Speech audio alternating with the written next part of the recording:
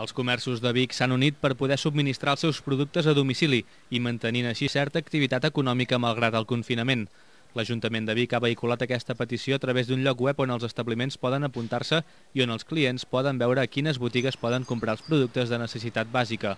Hi ha diferents maneres de pagament, d'enviament i de funcionament. La voluntat del consistori biguetà és mantenir el comerç de proximitat durant aquests temps difícils per les botigues més petites.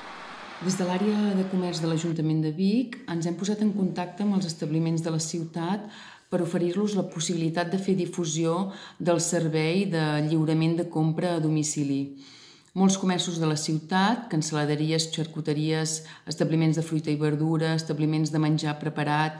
eh, també eh, parades del mercat municipal i fins i tot alguna botiga d'alimentació animal s'han posat en contacte amb nosaltres, ens han deixat les seves dades i d'aquesta manera podrem fer difusió del servei que ofereixen de lliurament de compra a domicili. L'Ajuntament actualitzarà dos cops cada dia la llista de comerços adherits per poder elaborar un mapa precís en línia perquè els ciutadans puguin saber quins comerços tenen més a la vora.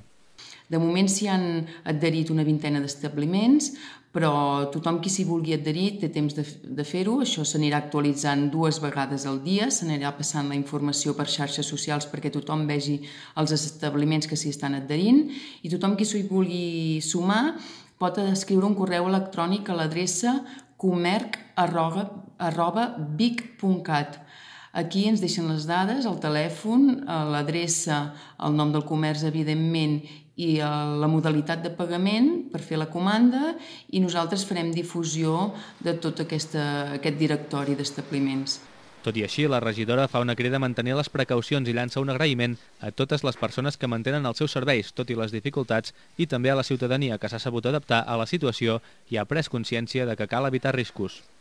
Estem molt contents de la iniciativa i sobretot volem agrair als comerciants que aquests dies tenen una feina difícil i complicada, però ho estan complint de manera exemplar, estan seguint totes les recomanacions i mesures eh, que s'han establert, tant pel que fa